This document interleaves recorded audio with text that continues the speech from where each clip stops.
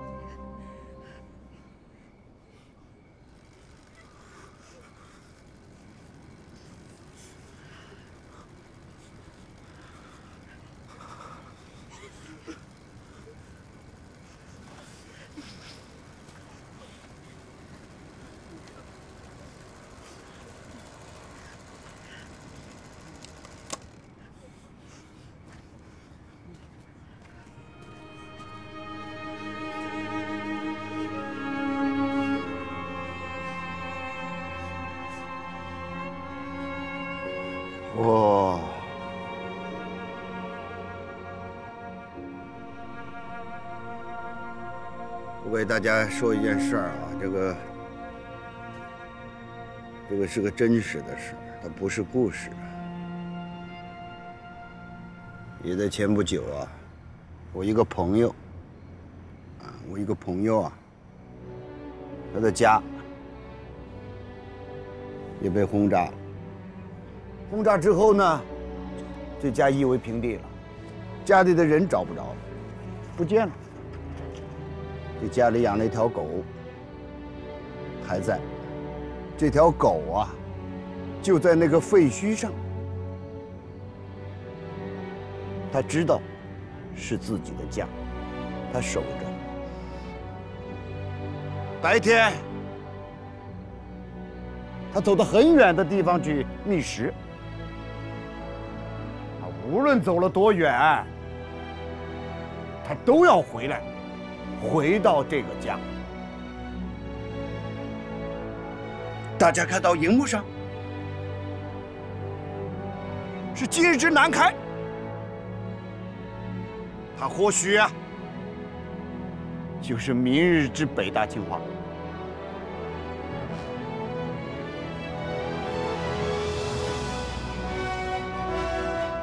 我在想。我们的教育香火不能断，要永续永存。无论我们将来流落到什么地方，我们总会回到家。我们一定会回到家。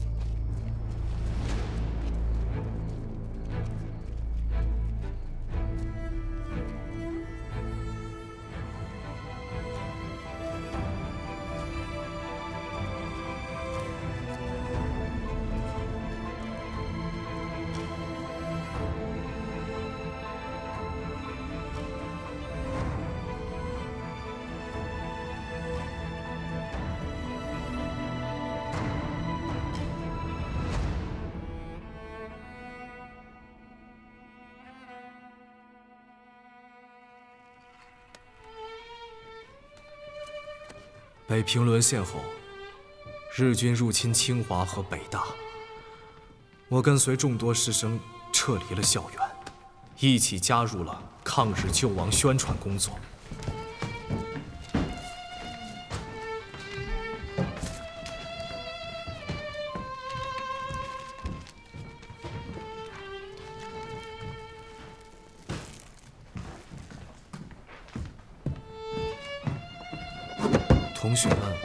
对未能完成学业忧心忡忡，而我，也因为是否返回美国而犹豫彷徨。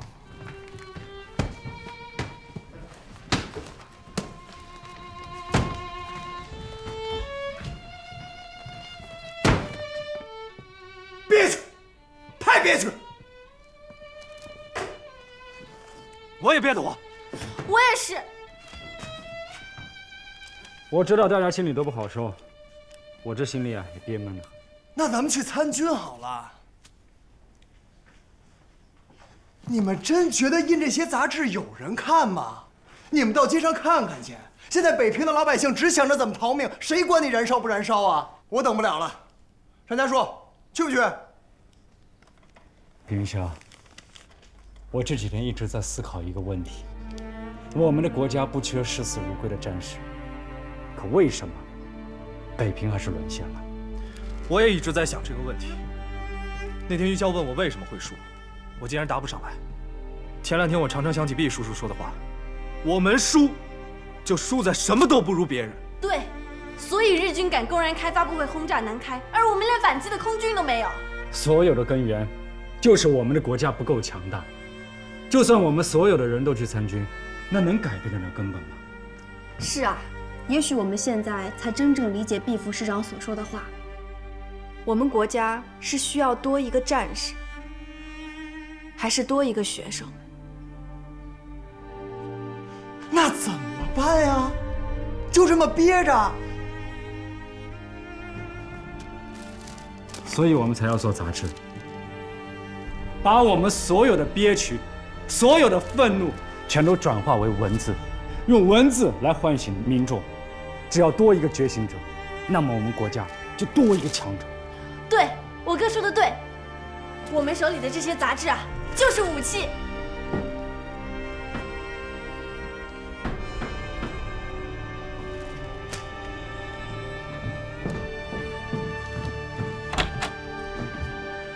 裴先生，是裴先生来了。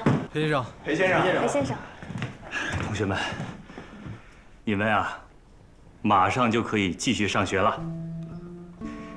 教育部已经决定将三校迁往长沙，组成临时大学。真的吗？太好了，我们又可以上学了。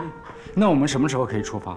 随时都可以出发，只要你们各自收拾好了，就可以出发了。嗯太好了，裴先生，我可能要提前告别了。你干嘛？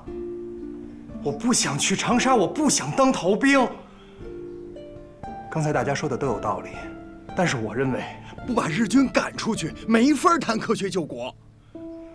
我想好了，我要上战场，我要和他们真刀真枪的干一场。男儿何不带吴钩？收取关山五十州。哎，云霄，你去哪儿？别追了，他要是真想走，你拦也拦不住。陈家树，你会跟我们去长沙吧？要是你愿意，跟我们一起去。谢谢你在南开救了我。裴先生，考生能去长沙吗？当然可以了。听到没？考生也能去。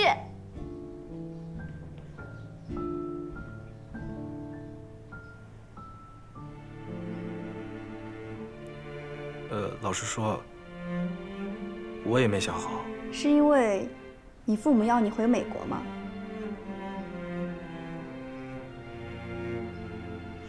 华俊，你准备什么时候出发？我回去和我母亲商量一下吧。好的，那咱们大家就在这儿集合，一块儿出发。好。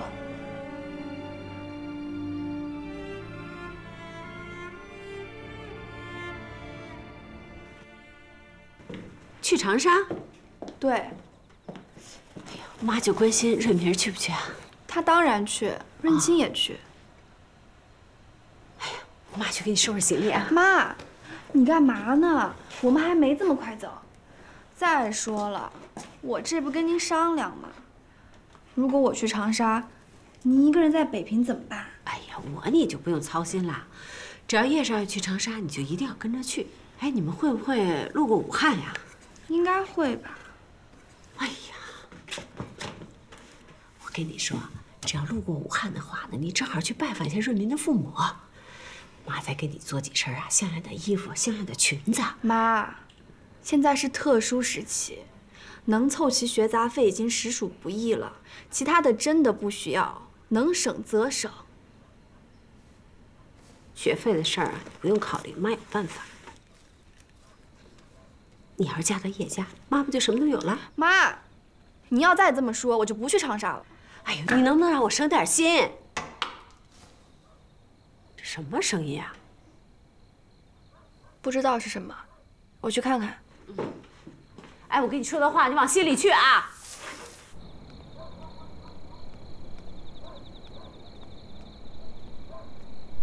嗨，大晚上的，你又要干嘛？你打算什么时候走？你呢？打算什么时候回美国？我不知道。其实我不想回美国，可是我父母、我哥都想让我回去。你觉得我应该怎么样？我认为你应该要遵从你自己的内心。这是你的人生，不是你父母和哥哥的人生。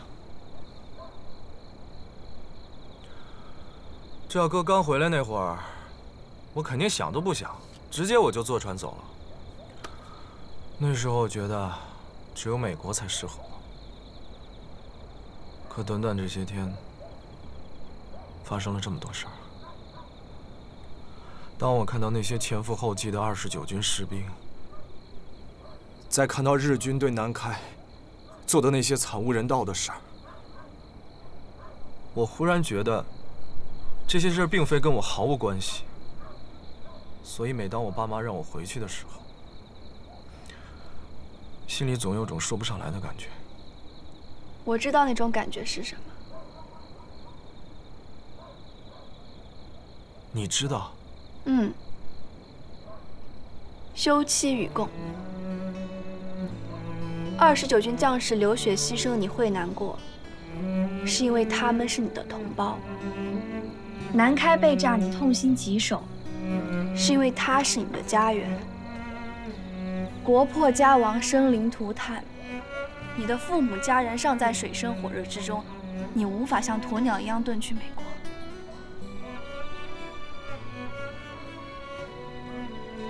我想是去是留，你心里会有答案的。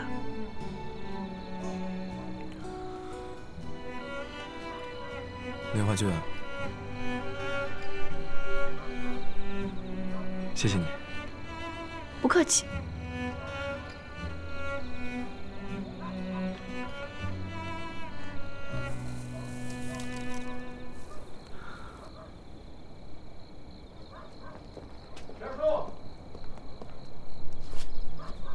哥，我决定了，我不回美国了。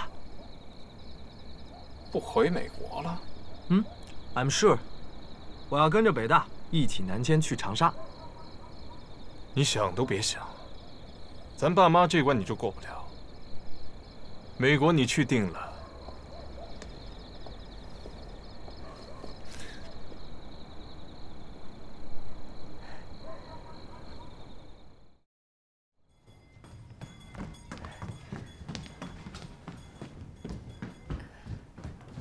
慢点。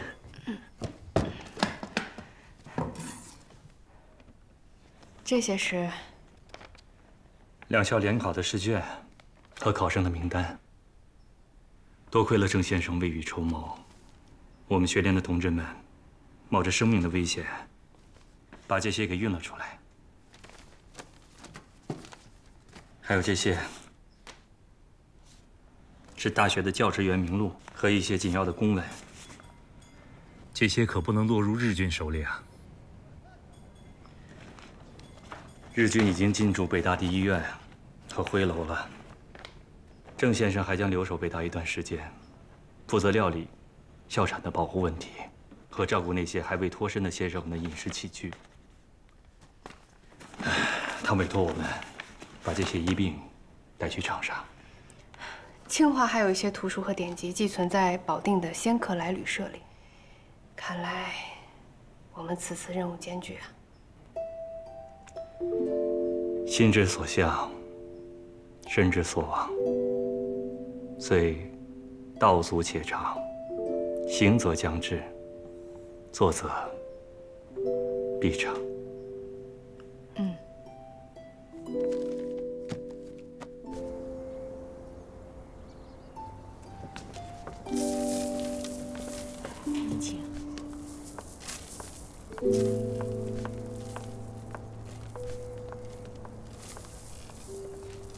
妈，谁呀？这么早来咱们家？隔壁林太太。啊，华俊妈。是啊，可怜天下父母心呐。怎么了？他为了让女儿到长沙去读书，把房子卖给咱们家了。看，房契都拿来了。前两年刚买的房子。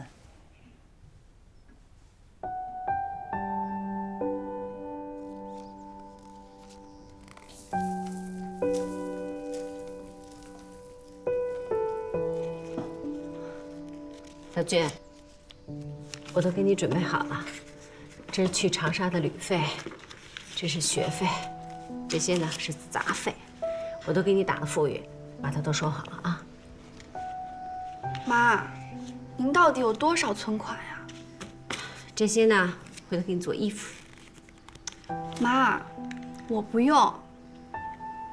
从今往后的日子也不好过，这些钱啊，你留着自个儿用。不用担心我。来，你收好了，我去开门。哦。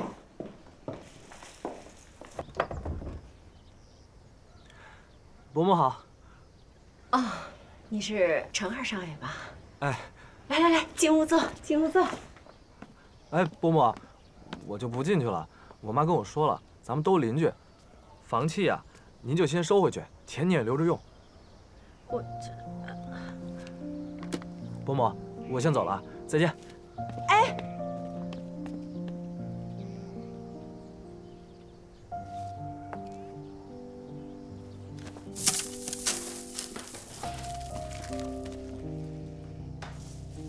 陈家树。啊？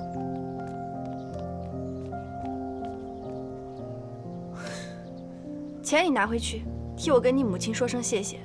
但是钱我们不需要。哎，林华俊，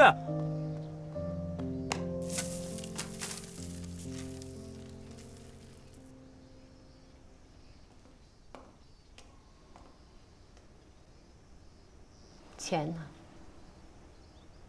如果去长沙需要变卖家产的话，我是无论如何都不会去的。即使变卖家产，那也是咱自己的，一不偷二不抢，堂堂正正。妈，咱们明明已经负担不起了，您为什么不跟我说？谁跟你说负担不起了？咱不还是有那大院子呢吗？妈，您实话告诉我，这些年您到底典当了多少东西？你真想知道？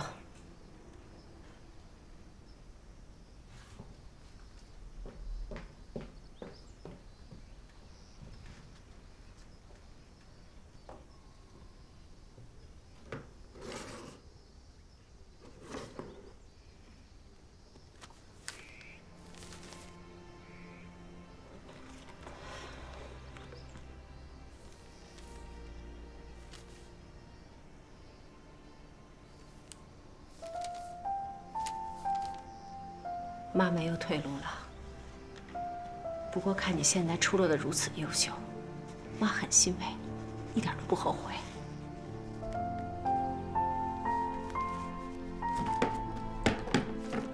妈，我们有什么样的能耐，就过什么样的日子。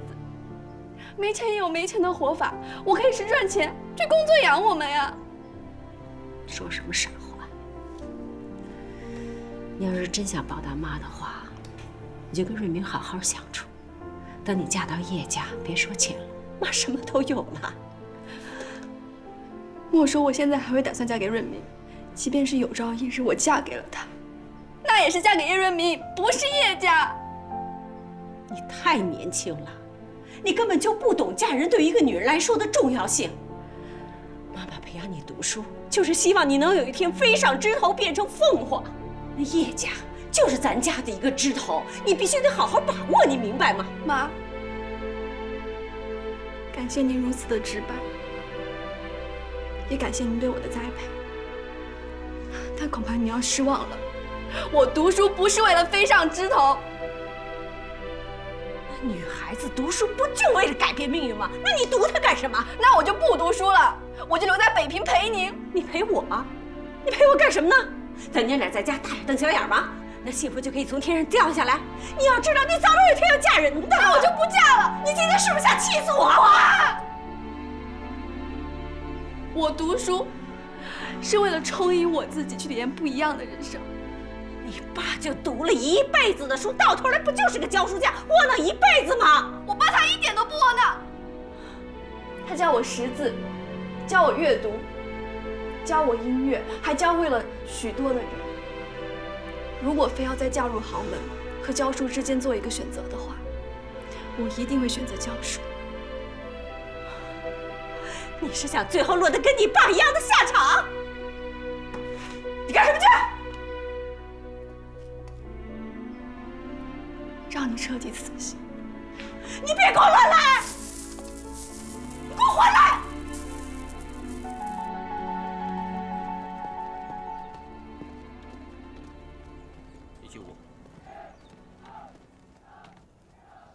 一八零，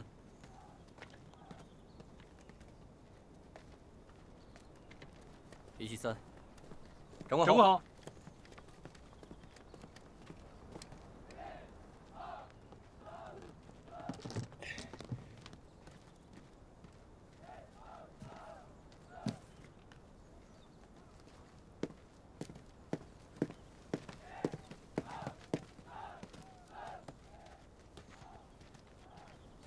云霄，云霄，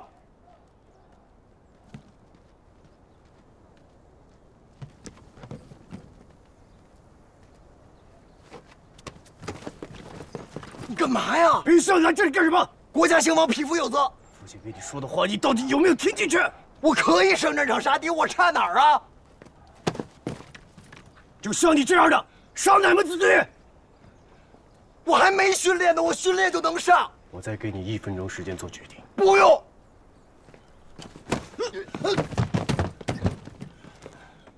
冰峰，你有病啊！你是不是有病？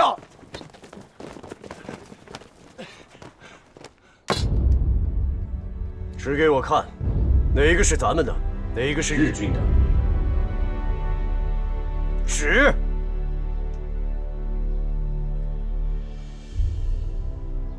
这个是咱们的，那个是日军的。拿起来，扔下试试。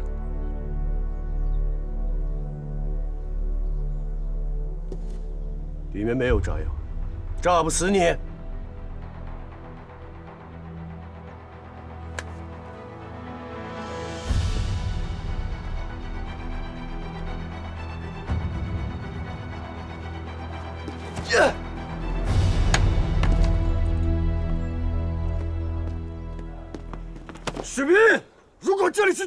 你现在在哪儿？像这样的手榴弹，更多炸死的是我们自己的士兵。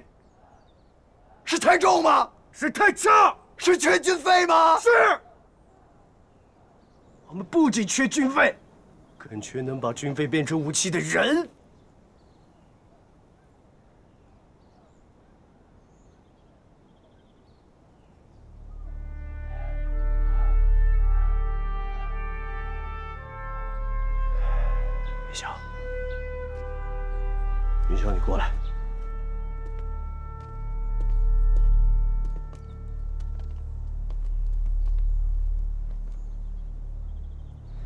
我军每天数以千计的伤亡，是因为我们的士兵不善战吗？不是，是因为我们的军备太差。那些战士是因为这些老掉牙的手榴弹，才丢了自己的性命。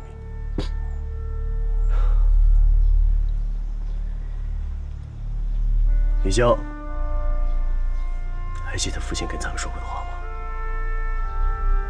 如果咱们将来面对的是一场旷日持久的战争，你是清华物理系的，以后咱们的军工厂能不能使上先进的武器，就指望你们了。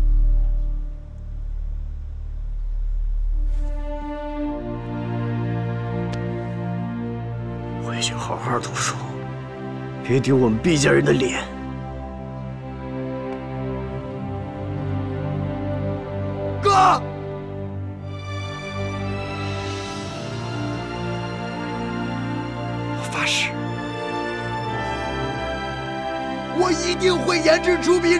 更好的武器。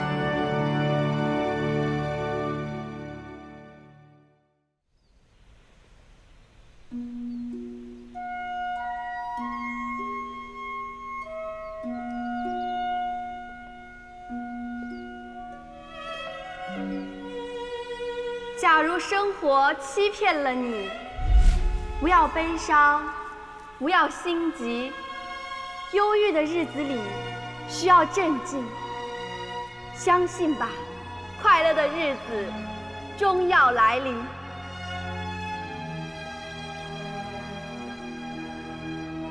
叶润明，清华文学系才子。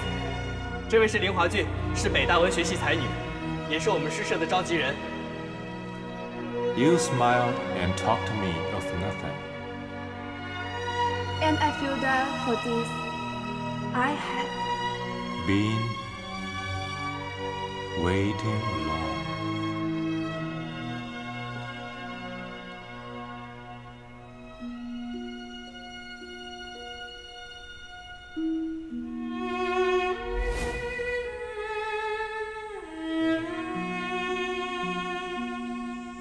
华军，等很久了吧？还好。裴先生已经跟我定好了，后天中午启程。我提前去你家帮你拿行李。任明，你后天不用来接我了。为什么不来？咱们不是说好了要一块出发的吗？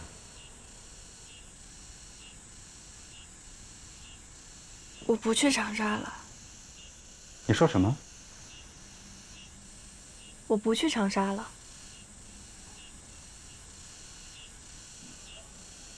你 你是因为家里有事情耽搁的？没关系，我们大家都可以等你的。没有，是我自己不想去的。你怎么就不想去了？我不放心我母亲一个人在北平生活，所以那，那我们可以带着伯母一块去长沙。生活方面，瑞明，你的好意我心领了。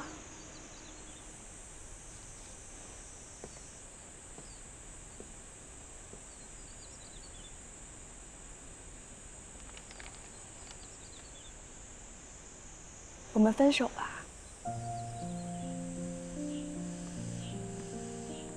为什么？即使你留在北平，我去长沙，咱们俩也用不着分手。不是这个原因。那是什么原因？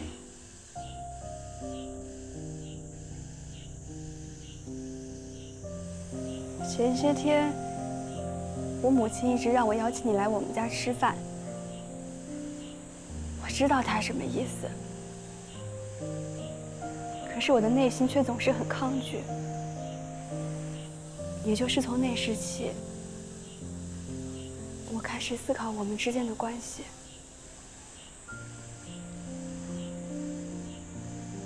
你很优秀，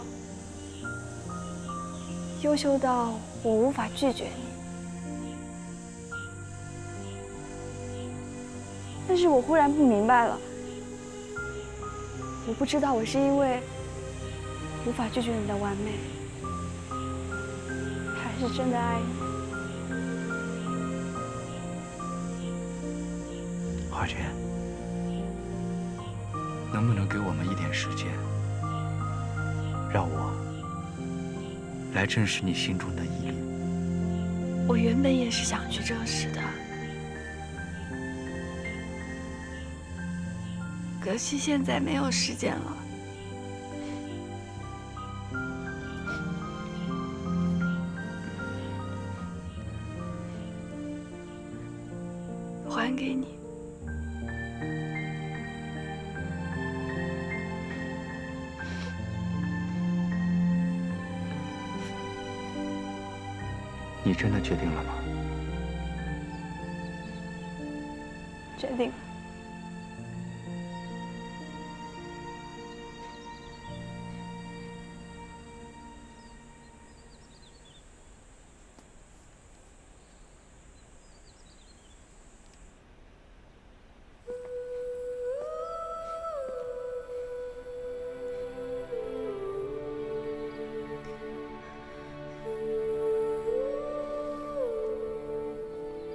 长沙的菜比武汉的要辣，你胃不好，少吃，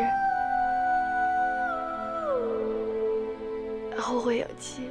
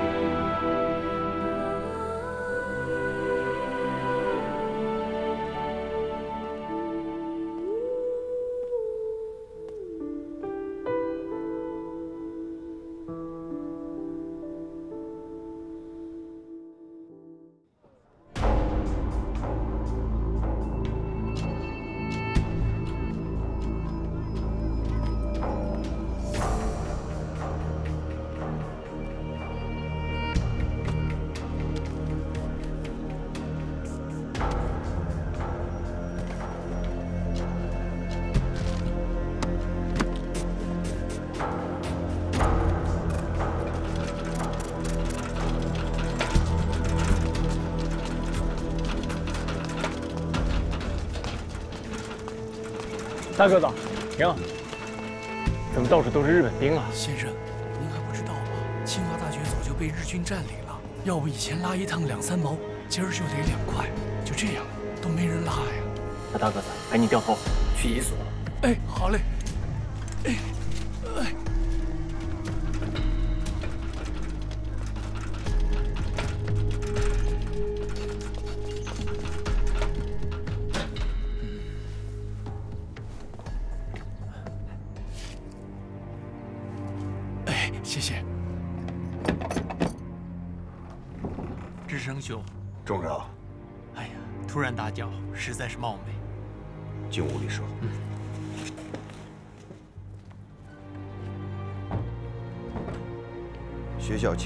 通知，你收到了吗？啊，收到了啊。不过有一件东西还在清华园里，我想去取回来。虽然价值不高，但是对物理研究很有帮助。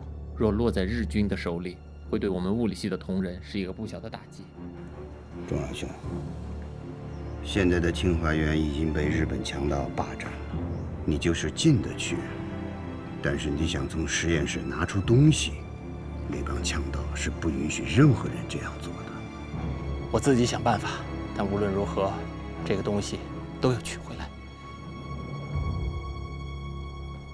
严师傅，啊，来找冯教授啊？啊，是，呃，我给冯教授送衣服来了。好，我明天去你店拿衣服。啊，好，好，好，可以。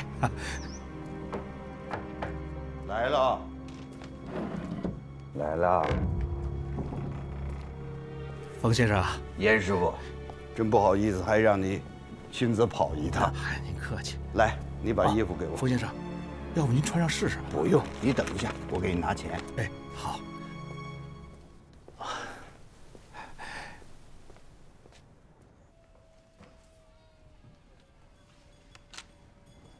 你说什么？华静姐不去？她要留在北平照顾她妈妈。可是他之前都说会去的呀。他不会是找的理由你没追问。没有。不行我得找他去。嗨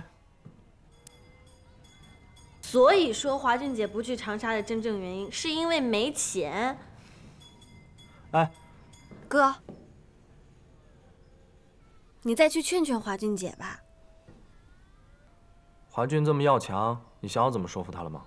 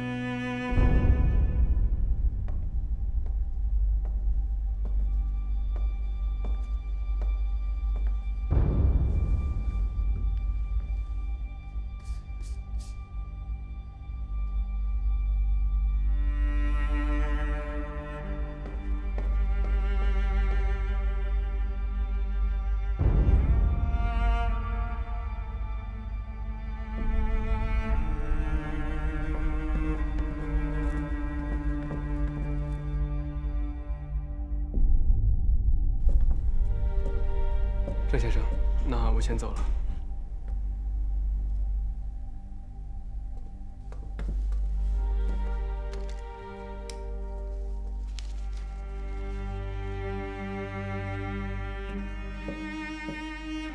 郑先生，这是你的，画卷。记得啊，要结伴出行，要注意安全。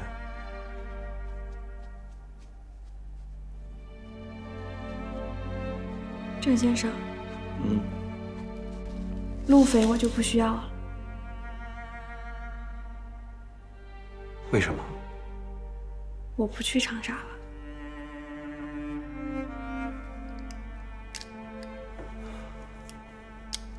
不去长沙？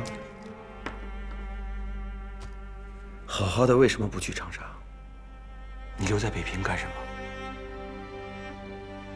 留在北平也挺好的。